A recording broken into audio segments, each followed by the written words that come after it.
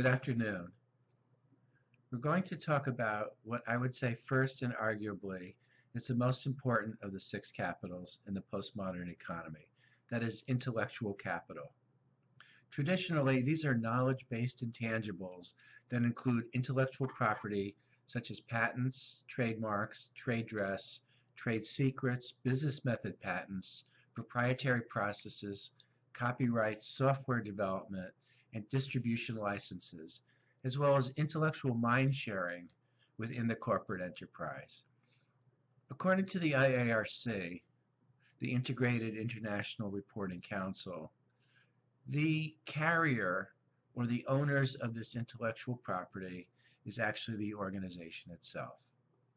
My perspective, however, is that intellectual property is actually a bit dated and old world thinking. It's a it's a concept that may be included in the IIRC, but it's it's it's an EU and rest of world based concept. I would actually label this capital as reputational capital, especially in the States, because I believe brand identity, knowledge of the market and customer, ability of the company to distribute around the world, consumer intimacy, and brand reputation are much more instrumental in market acceptance and sales growth and value creation than the intrinsic value of an entity's intellectual property. I'm going to give you a personal example. When I had management oversight of the IFI patent claims database at Wolters Kluwer, and this is actually the database that the patent US Patent Office uses in DC to make sure their classifications are correct. I visited my patent contributors at Procter & Gamble's in Cincinnati.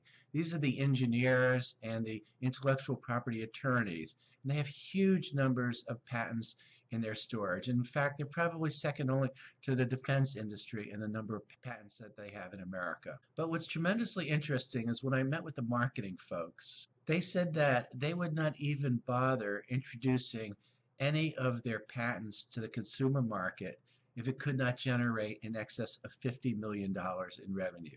So it is not the intellectual property of the entity that really matters, it's how the intellectual property is deployed. And that's why I say the focus should be on brand, image, and, and reputation. The question is whether marketplace acceptance is a function of intellectual property or really the reputation and brand of the owner. It's really how this intellectual property is deployed. And it is dependent, as you will see, on brand identity and reputation. And even in the internet world, the barriers to entry still remain the ability to sell and market your goods or your services. And more today than ever, they depend on the brand and reputation, and sometimes the intelligent mining of patent claims of other enterprises. Let's, let's give this uh, example a, a little more depth. I wanted to share with you an actual case study on the failure of a risk manager or corporate legal advisor to properly manage their intellectual property, that is, their patent database, or to think creatively or sometimes outside of the box to provide some integrated thinking in their review of the inventory of patents and claims of what this product should be used for, that is the patent claim. As you know, uh, and this is an actual case study, uh, as you know, Xerox owns the patent or owned the patent and the technology for xerography, which historically has used positively charged carbon particles to assemble into lines or images, and that's really the basis behind the photocopier. Well, my colleagues at Procter & Gamble realized that they could develop a $100 million business from this simple technology, which Xerox had absolutely no clue about. So they patented a microencapsulated, positively charged carbon ion to attract dirt, and that became the billion dollar Swiffer industry. Had Xerox tried it, they would not have had the reputation, brand, brand marketing, brand identity, or distribution ability for this process to succeed. So that's why I prefer to use the term reputational capital over intellectual capital. However, Jane Gleeson White in her book Six Capitals provides some history into the growth and value of intellectual property and how it has lost its connection to stock price and value. We're going to look at three cases at Apple, Chipotle Grill, and Wells Fargo shortly. But just from a historical perspective, Jane mentioned that Tomo, a Chicago based intellectual assets financial services provider, published a study on the rapid increase in intangible assets in U.S. businesses since 1975. Its analysis was based on market value of the Standard & Poor's 500 companies. Ocean Tomo research showed that since the 1990s, the market value of these companies has increasingly diverged from their book assets, their book values, which is their book value, which is simply assets less its liabilities. In 1975, a company's balance sheet showed about 83% of its value, with only 17% of intangibles, reflecting the fact that the value of the enterprise was deeply rooted in its tangible assets, manufactured and financial assets.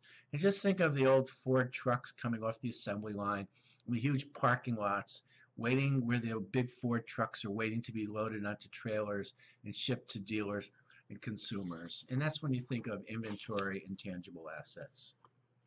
In 19 Diary Forward to 2009, and according to White, intangible value spiked to 81% of the S&P 500 market value. That meant that only 19% of the value of the Standard & Poor's 500 could be accounted for on the balance sheet of the enterprise's financials.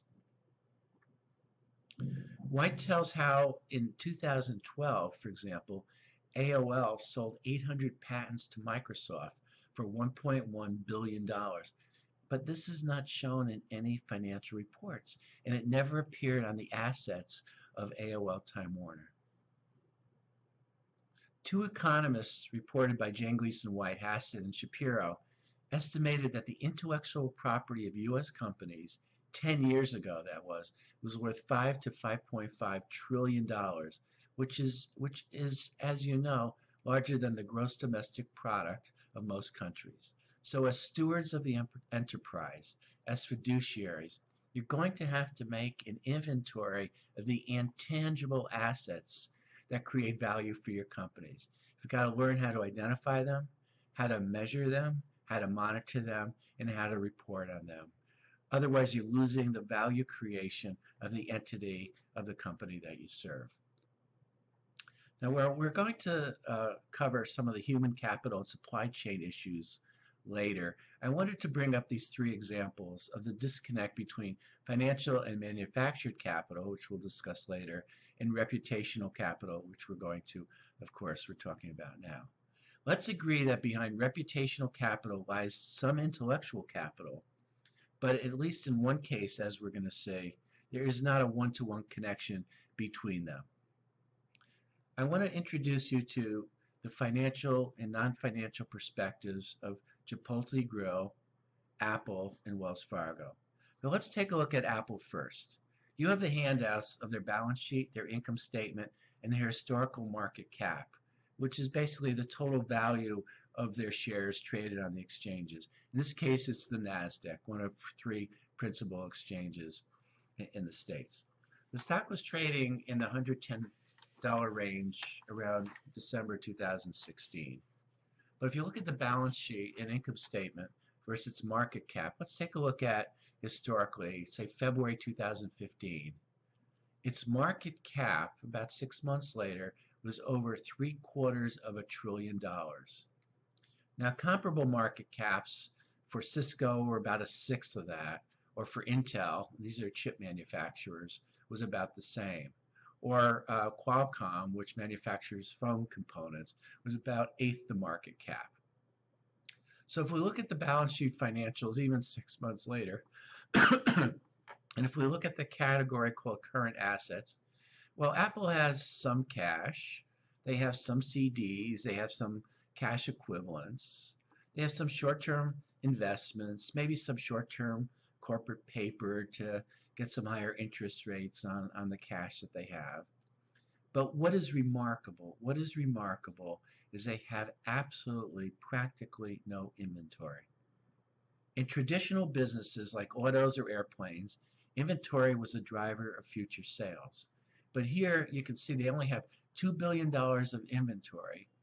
And if we move down to their income statement, they generated $93 billion on $2 billion of, of inventory.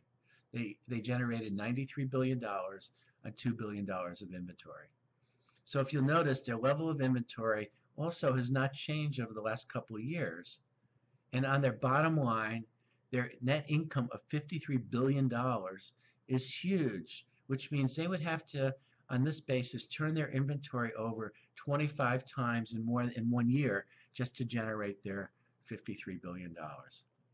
So obviously, the value of this stock is totally independent of anything that appears on the balance sheet or income statement.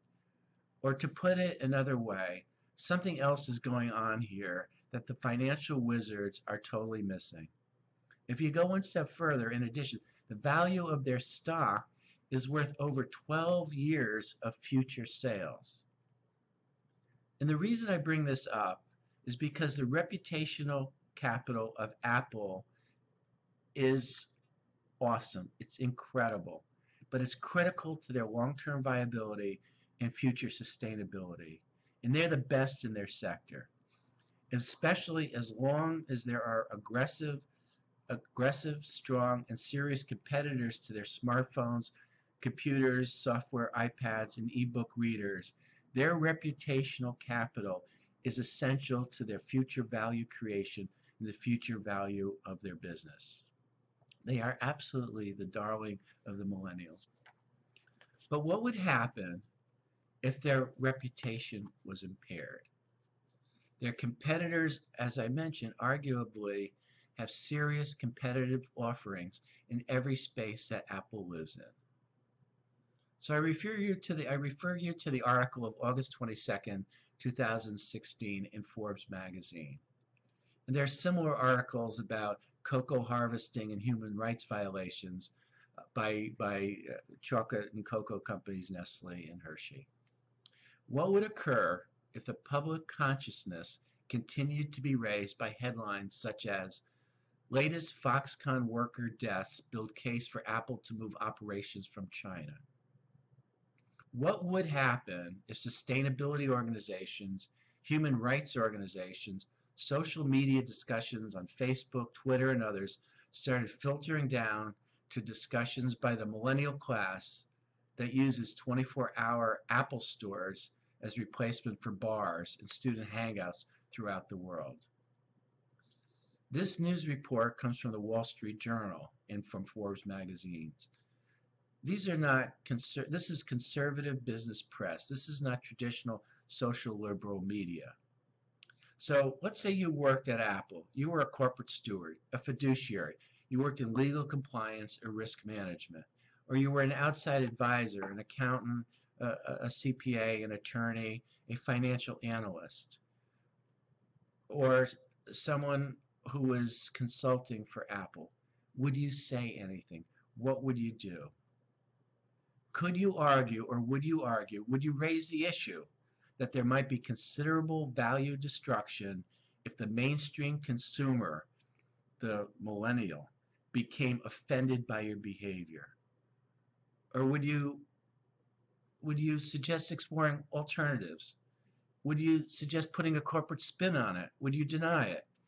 What would you do to protect and preserve a stellar reputation and enhance the value creation of your enterprise over a long-term period? Now let's look secondly at Chipotle Grill.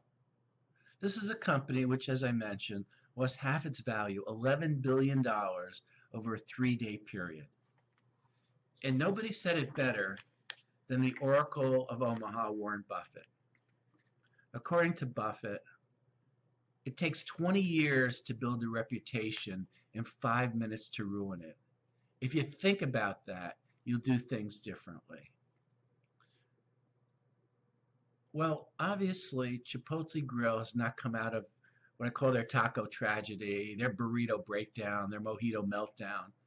Their comparable sales continue to drop month to month, 11th consecutive decline in sales. In fact, the articles say that people are actually scared to go into these stores and they're giving away free burritos. The question is whether free burritos make customers forget about their health uh, scares. And for the first time in 10 year history, the company actually lost money this quarter. So the question I ask you, if you were the steward, a fiduciary in the corporate advisory inner circle, or as an outside advisor, what would you do? What would you say to the CEO or the board? What would you suggest as a strategy to build back the reputational capital of a company that performed spectacularly for the past 10 years? Again, this is not the intellectual property of the company. This is the reputational capital, the brand identity of the company. Now, what if it was that you worked there for a number of years, you invested in the company, you were an analyst, a financial advisor, or perhaps your pension had significant stock in, in Chipotle Grill. What would you do as a steward of this enterprise? And let's take a look at the third, the third case in terms of reputational capital. Wells Fargo. Well, there's nothing safer than watching a Wells Fargo stagecoach go by with the security and the safety of holding people's money. And I'm sure you've seen the new ads for Wells Fargo. We want to restore our trust in you. So put your stewardship hat on. Put your fiduciary hats on. What if you received a letter from the United States Senate, which, which you have in front of you, from Bernie Sanders, Elizabeth Warren, and others, and the letter went to you as well as other corporate fiduciaries and stewards and outside advisors? Well, what would you do? Would you deny this? Would you accept the issue and apologize? Say it'll never happen again? Would you risk significant legal liability? Three, would you diminish it? Oh, not that important. We have tens of thousands, hundreds of thousands of employees. We only fire 5,300, and it was for bad business practices. Let's put a spin on it. Four, would you point the fingers to others and say, those that did these bad deeds were fired, and they're no longer with us? Or would you resign and find a better company to work for? Or would you try a different spin and say, oh, insignificant, and it only happened in one office, and, and, and we got rid of all those, those people that did these bad deeds. Or seven, would you get behind it and show the public how you've changed and reorganized? And would you look to at the board and at the CEO ensure there's a turnover so that there's there's new thinking, there's critical thinking, there's integrated thinking, responsible thinking, uh, in, in, protection of society and, and the general public you serve. In the case of Wells Fargo, as you know, the board of directors, as well as the CEO, were under the same financial incentive program. The board said it was shocked by this, but in truth, my perspective is they blessed it, as did the two major mutual fund holders, Fidelity and uh, Vanguard, which I had mentioned, voted in favor of the stock option incentive compensation plan for both the board and the CEO. The point is that Wells Fargo dismissed and probably ruined some of the financial lives of 5,300 employees over a five-year period. The Consumer Financial Protection Bureau investigation concluded that Wells Fargo engaged in fraudulent conduct in a mass scale, on a mass scale what would you do? How would you behave? What ethical basis would you use to support it? And what would you risk as a result? So this concludes our session on the first capital, reputational or intellectual capital. Thank you.